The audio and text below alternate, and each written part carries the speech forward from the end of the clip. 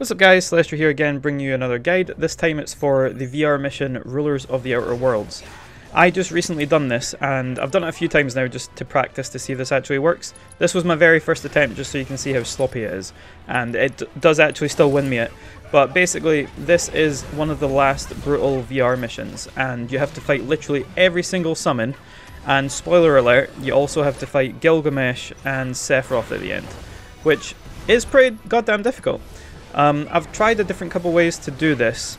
So I've tried the Aerith method where you recycle the limit breaks. That takes way too goddamn long. You end up spending about 40 minutes in this fight.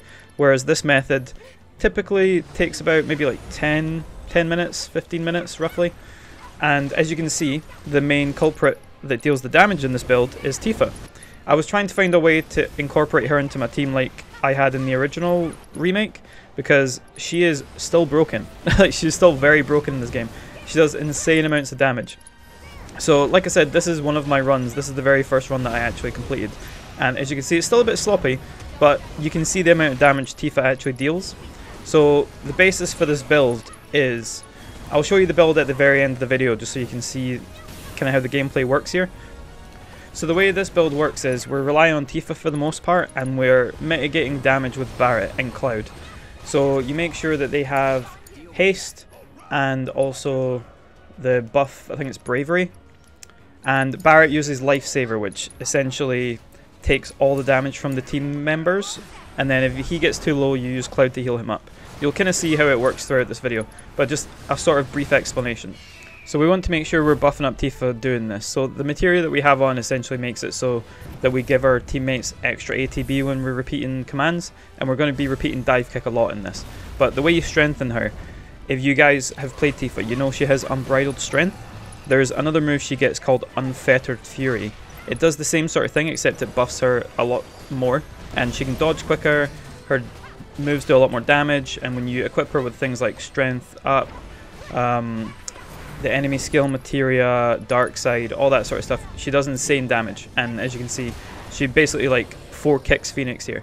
And the only annoying thing is I can't seem to kill Phoenix before it spawns Kujata again, but it doesn't really matter because you're getting healed with materia here. So you've made sure you've got elemental and fire. So this round you're really just healing yourself up when Phoenix attacks. But yeah, the way it basically works is buff Tifa with Unfettered Fury, and then just keep dive kicking. Just keep dive kicking and use the other guys to like do some damage in the side. And if Barret gets hurt from using Lifesaver, just heal him with Cloud. You don't usually take that much damage because you're killing them a lot quicker. But I'm just going to talk through this just so you guys can kind of see how it works. So as you can see, I'm doing a little bit of damage here to Kujata. I would have probably dive kicked him to death at this point, but he froze Tifa with the, the Thunder. So all we're doing is we're just basically holding down square and if you get stuck in the punch up animation where she does like a rise rising uppercut, you can dodge out of it. So that's how Tifa is so quick at building meter. So when you do that, you literally just dodge and you'll be able to get out of this so you can continue your combo and build more meter. So yeah, like I said, this is a very sloppy attempt. I usually would have just restarted by this point, but I just wanted to show you guys how sloppy you can actually be and still win this. In my opinion, the only hard part about this, when you're using this build, is Gilgamesh and potentially Sephiroth. This is the very first time you actually see me complete it. So when you see the Sephiroth fight, it is very, very sloppy. So just shows you can make a lot of mistakes and still win as long as you've got a decent amount of MP by the time you get to the end and you're quick enough to kind of get up and revive other characters while you can. The only thing I think this build could probably do with improvement is, I don't think Tifa has a revive in this. So if Tifa is the last one by herself, you're kind of screwed. But as you can see, she just dodges around Titan, and then he's literally just pressured here. And I think this also pressures Bahamut because it breaks one of the shields. So you have plenty of time to just keep dive kicking, dive kick, do whatever else you want to do. You can use Barret's skill where he absorbs like his HP and shoots for like massive damage as well, but you don't really need it. You just keep dive kicking, punch, build some bar, double dive kick again. And it, as you can see, Cloud and Barret's ATB is building up because we're doing dive kick twice. And Titan's just flailing around, but we're dodging around because Tifa is insanely fast when she's got this max level chi. So basically what Tifa's whole game is, she has like a chi level, and when you use Unbridled Fury or... Uh, no, Unfettered Fury? Or Unbridled Strength, she basically gets like an extra level of chi, and it just makes her crazy fast. She can do crazy amounts of damage. She has extra combos, so when you're holding down square, when you're pressing square, she does different things. And yeah, it's, it's kind of crazy. So here we're just going to keep dive kicking Bahamut, just like this. If he starts building up the the particles, you can break his wings and that will pressure him. But at this point, I was trying to, but sometimes they're a bit too high up or in awkward places, depending on where your characters are. So we just end up kicking the crap out of him. So just keep dive kicking. You can kick the wings like I'm trying to do here, but the, the left wing is obviously on his left side and the dive kick won't reach it. Dive kick will reach that, but you need to be really quick to destroy the wings. And that does pressure him, so I probably could have killed him here if I did that. But yeah, while he's doing that and focusing on someone else, just get your attacks in, and then he'll be pretty much dead.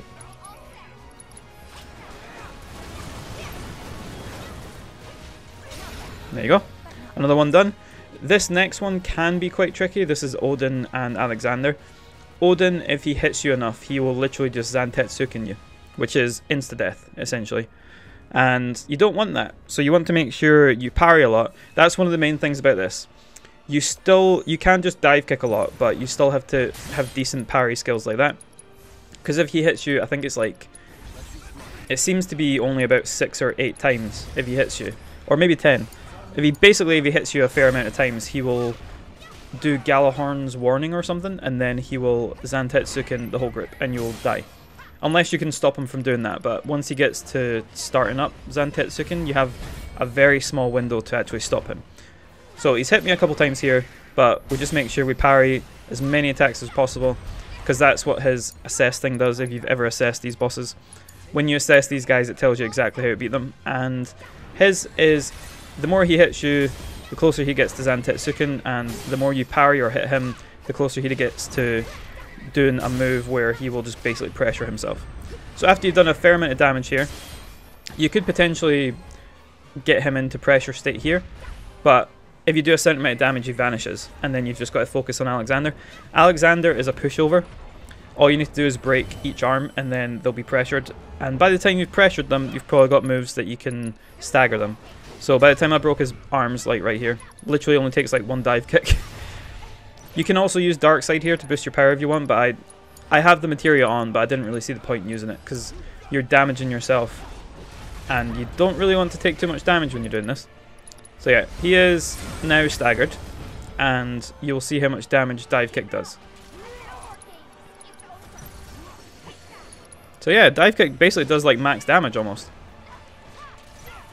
And then you just hold down square a couple times, and then dive kick again. And then Odin comes back in.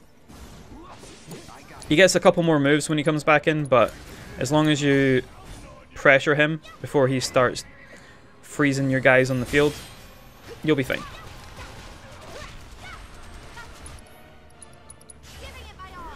And since I've got the limit break, I might as well, because this will basically trigger his stagger state.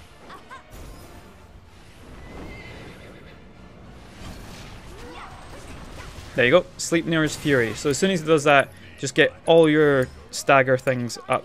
So Focus Shot pretty much does it itself, but I just wanted to make sure by Focus Thrusting in the Cloud. And then just dive kick him a couple times, and that's it.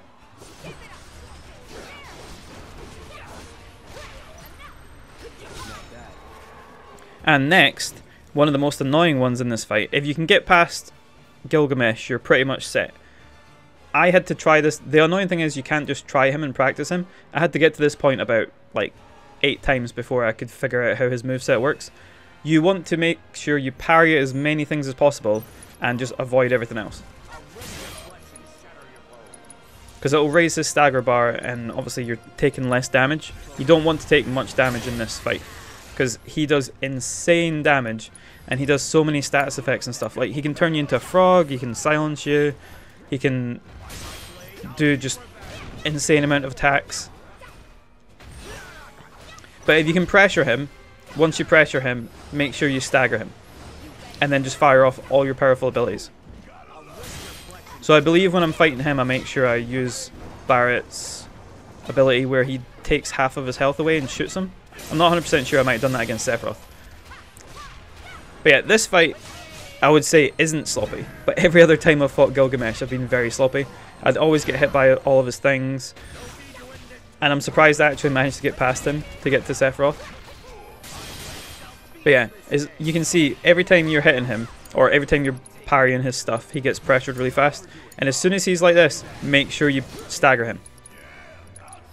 You don't get a lot of opportunities to stagger Gilgamesh, so as soon as he is staggered, do as much damage as you possibly can. And at this point I used the, the time to also heal myself up because I knew I, I needed to make sure I stayed alive in this fight. So I'm trying to build Barret's bar here, and then I'm going to use this move, which is called Lifeblood Cannon, which basically takes half of his health away and both of his ATB bars and does a massive amount of damage. I probably should have put the Genji equipment on Barret at this point, because I, I didn't really do over 9999 with Cloud. But I'm just kind of putting my thoughts out here so you guys can kind of see my thinking. This is when he does his limit and can kill you, but his limit's not actually that strong, thankfully. Usually when he did it to me, a couple characters were still alive. They were on the brink of death, but they were still alive. So like that, just make sure you're parrying everything. As close to everything as you possibly can, because you're going to take no damage, and his stagger meter is going to go up. And when you do things like this, when you get the synergy abilities activated for Barret and Cloud, make sure you dive kick a couple times in between because you need to do as much damage as possible. You could technically summon here if you really want to, because I didn't actually use my summon throughout the entire thing, didn't even use it against Sephiroth. But if you're struggling with Gilgamesh, I would suggest using it against him, because he is a lot harder than Sephiroth in my opinion, just with all the crap he can throw out and the fact he can turn you into frogs, silence you, all that sort of crap. But yeah, if you get him down, you're pretty much going to be able to kill Sephiroth, unless you don't parry the shadow chains. Because when Sephiroth does shadowy chains, it basically takes one of your characters out of the match. And there we go. Gilgamesh defeated. Thank God. Like I said, I probably tried this about 8 or 10 times, but it's it's more the fact it takes so long when you're you're not used to how it works. So now we've got potentially one of the hardest fights, but if you've put your material like mine when you see it at the end of the video, you should be okay. You can swap some of the material out if you want, but for the most part you're just wanting haste, bravery, and make sure Barret does lifesaver and have some sort of cure or pray or something like that, just so you can keep your guys alive. Make sure you have revive just in case your guys die, because as you can see in this, they, they do almost all die. Also, that's one thing I didn't know Sephiroth did, because like I said, this is the very first time I got here. Shadowy Chains, yeah, so he's got two of the people in Shadowy Chains now. Essentially just takes them out of the fight, and he can just do whatever he wants with them. He does target people that aren't controlled, which is unusual, which is why I was taken aback by it. Because usually, there you go, you have to parry that, otherwise he will do it to you. If I'd got hit there, I'm pretty sure I would have been dead. He does manage to trap all three of my guys initially, during some part of this fight, but yeah, I didn't realize he could just throw it at you from that distance. So yes, this is what you don't want to happen. So I just left this in here as an example. Like I said, this is my very first time doing it. Because potentially, you would have been dead here. But I, I, I was so panicked here. I was like, no, I must get everybody back up. But I'm so glad I dodged and just didn't instantly revive. Because he would have killed me and then I would have to restart my run all over again. And since Tifa can dodge really fast, I'm just making sure she's all the way out of the way. And Sephiroth will target her instead. But then Shadowy Chains, Barret's back in them, which is very annoying. But this is all learning game at this point, but you guys can kind of see how it works. So you need to make sure you parry Shadowy Chains. And then he is basically a free target at this point. You just dive kick him straight afterwards. You can probably get two dive kicks in, just like this, and then dodge out the way. But he is fairly easy compared to Gilgamesh, because he only really does Shadowy Chains, and then once he gets to a certain point, he starts using things like Firaga, Blizzaga, all that sort of stuff.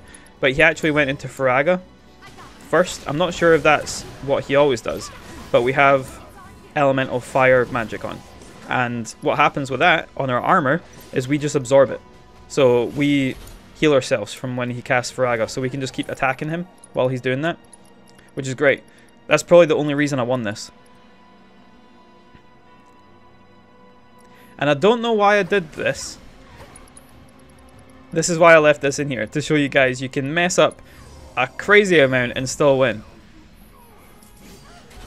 So I should have just parried him. I shouldn't have tried to do that, because I, I could have literally been dead here.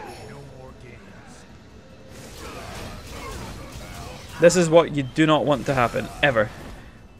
See? Barret's the only one alive. and he could have died there. But Shadowy Chains. Oh, last ditch effort. Literally the only thing I could do. Had to make sure Cloud got back up because he's the only one with a revive. So if Barret died, then I'd be screwed. And thankfully, he doesn't kill Barret right away with that. Oh, this was so intense playing this. Like, looking back at it just makes me have a heart attack even more. And since everybody's getting KO'd, they're all getting their limits, which makes this even easier. But as long as you can keep your guys up, you should be fine. And we stopped the shadowy chains there, thankfully, with the cross slash.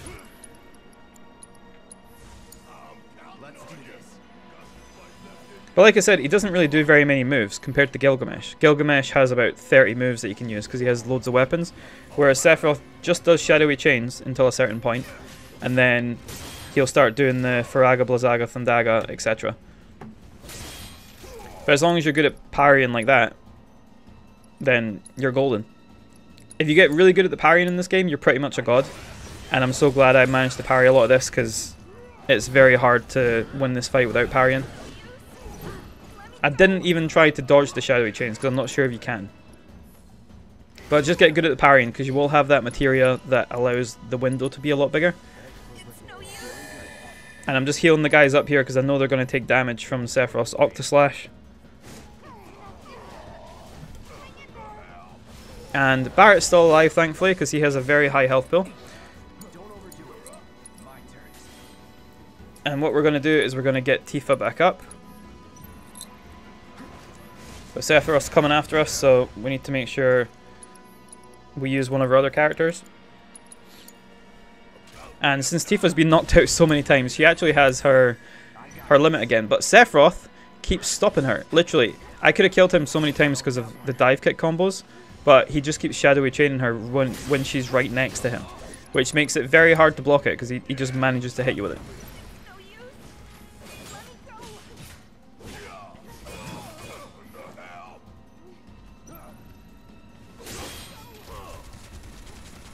We're so close.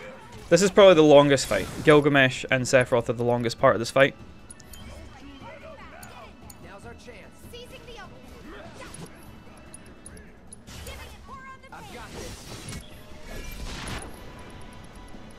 Sephiroth has a lot of defense. So as you can see, that was um, that was Barret's shot thing that he usually does. And it only did about 7,000. Tifa actually did 18,000 there because of her double somersault kick. And as you can see, this is the best outcome you want, Affinity Fire. So he's going to just start casting Firaga. And we've got Elemental Fire magic on our armor. So what that does is it just heals us while we're fighting him. He will still slash you a bit, but when he starts casting Firaga, just unleash hell on him. Because Tifa's back up, she just needs to get herself back up and going with Unfettered Fury, and then just kick the crap out of him while he's healing you with Firaga. But like I said, you do have the summon if you do want to use it, but you need to make sure you pick one, because you can't summon every fight in this. It has to be either Gilgamesh or Sephiroth, whoever you're struggling the most with. But like I said, I would suggest doing it with Gilgamesh over Sephiroth, because Gilgamesh is actually fairly tough. Sephiroth is just, you need to make sure you parry at the right time in order to, to win.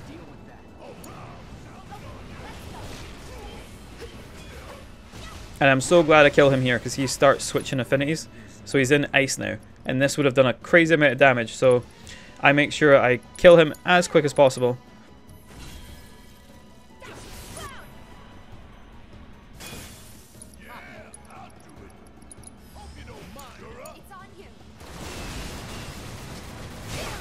And just like that, that's it done. It does take a while to get used to the fights, and it's very annoying that you can't just practice them. There should be like a, a, single fight thing you can do where you practice each of these bosses. I know you can practice the summons because you can fight them anytime you want, but you can't you can't really practice Gilgamesh or Sephiroth. But hopefully this has been helpful, guys. Like I said, I'll leave the, the, the build at the end just so you can see it. I'll talk over it so you can kind of know what's going on as well. And then you can see how it actually works. Right, guys, so this is the build here. We have the Rune Blade on, we have the Cetran Bracer, and we have we don't have the Gotterdammerung because that's what you actually get for doing that. The Gotterdammerung is amazing.